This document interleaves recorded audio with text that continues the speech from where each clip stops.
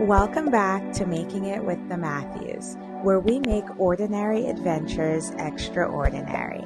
Today, we are diving headfirst into Charleston Restaurant Week, where we'll be reviewing four incredible restaurants that are sure to tantalize your taste buds.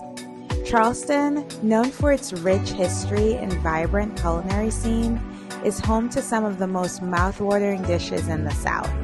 And during Charleston Restaurant Week, the city comes alive with a flurry of gastronomic delights. So throughout this video, we'll be exploring the ambience, the flavors, and the stories behind each of these remarkable restaurants, from the first bite to the last. We'll be your guide in uncovering the hidden gems of Charleston Restaurant Week. So let's get into it.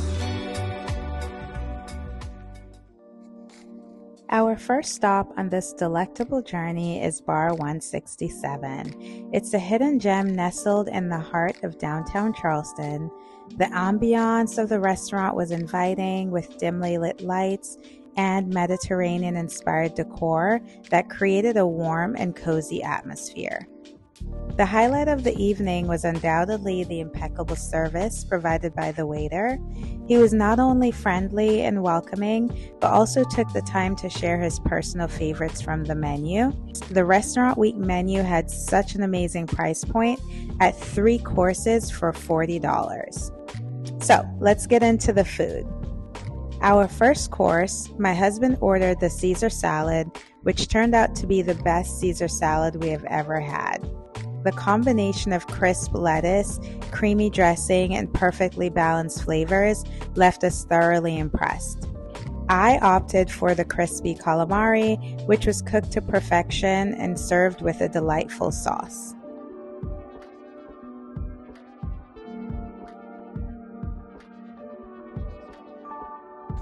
Moving on to the main course, hubby enjoyed the fish of the day, which happened to be the swordfish with a cauliflower and potato puree. The fish was so yummy, it was made to perfection, flaky and flavorful. Now, I decided to try the scallops with white bean cassoulet and an herb salad, and I was blown away by how tender the scallops were.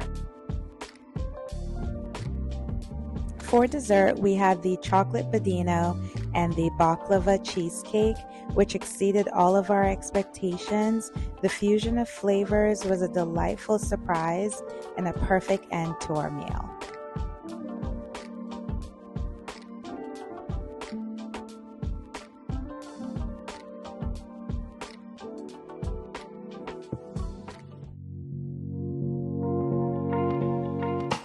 Next up on our list is Ruby Sunshine for brunch.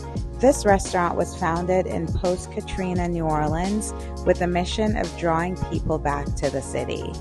They have since grown to over 20 locations. The restaurant's vibrant decor, reminiscent of the French Quarter in New Orleans, immediately caught my attention upon entering.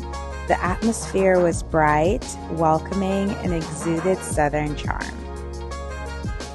The Restaurant Week special included two courses for $18. For starters, my niece ordered the beignets, which were simply delectable. Served warm and dusted with powdered sugar, they were the perfect combination and fluffy and crispy.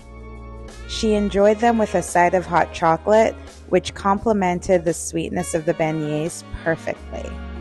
As for me, I opted for the Mardi Gras beignets, which took the classic treat to a whole new level, paired with a delightful cinnamon orange cheesecake and strawberry preserves. For the main course, I ordered the Bayou Shrimp Benedict, which came with a fried green tomato. Now, while the shrimp was perfectly cooked and the poached eggs were beautifully runny, I must admit that the consistency of the sauce wasn't to my liking. However, the dish as a whole was still enjoyable and the flavors were well balanced.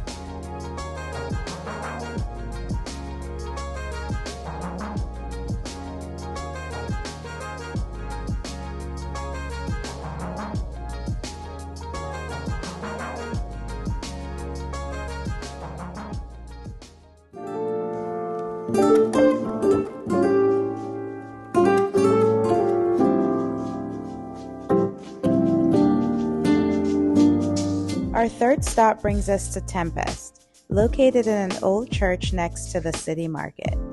The venue itself is unique and adds to the overall charm of the restaurant.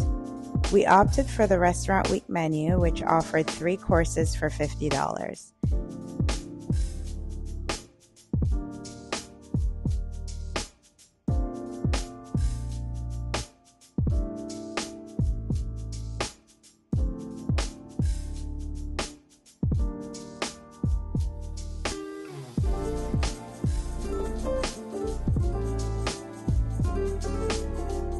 My husband started with the salad wedge, which was perfectly complemented by a tangy vinaigrette and crunchy pistachios. I had the clams, which were incredibly fresh and paired beautifully with the rich buttery sauce. So far very. Love the bread. Never had bread like that before. So far, 10 out of 10. For our main course, hubby chose the snapper with curry sauce which was expertly cooked and bursting with flavor. I decided to splurge on the Georgia Wagyu strip, which had an additional $10 charge.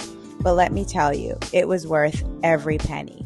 Oh, so sweet. Isn't that so sweet? Oh my goodness. Thank you. Yes, definitely. I got a rose, guys. so. For dessert, we indulged in the delectable Black Forest cake and the Bailey's chocolate ganache with cookie butter mousse. Both were equally great. Our waitress Jill was absolutely amazing. And to conclude our evening, she shared with us the fascinating history of the previous restaurant that was called the Chapel Marketplace and they previously occupied the same location in the 1960s to the 1980s. She treated us to a special gesture, which included a red rose and a tasting of cognac.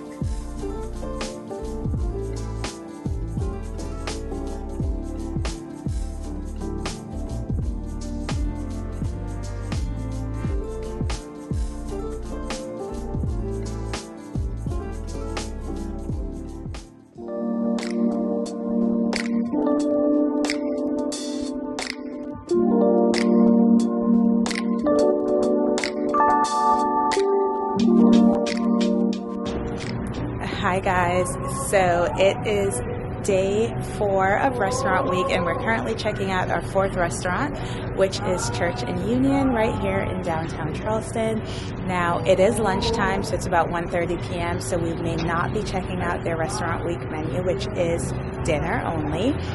We definitely will be checking out the lunch, and we'll be sharing all of the different menu items that might interest you, but also how good they may be. So let's get into it. Since we visited during lunch, the restaurant week menu was not available, but it's currently three courses for $50, and there are a few menu items that are listed on both. To kickstart our meal, we indulged in the Moroccan meatballs, which were bursting with flavors and perfectly seasoned.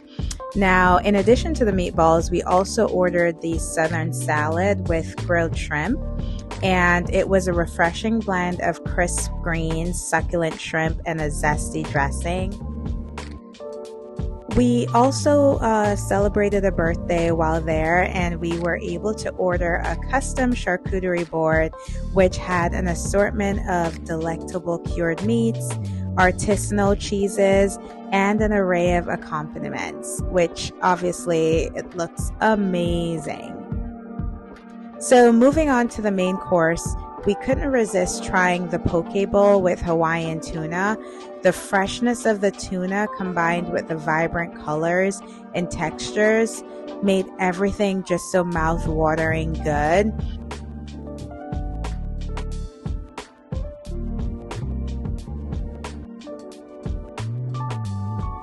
The staff at Church and Union provided impeccable service.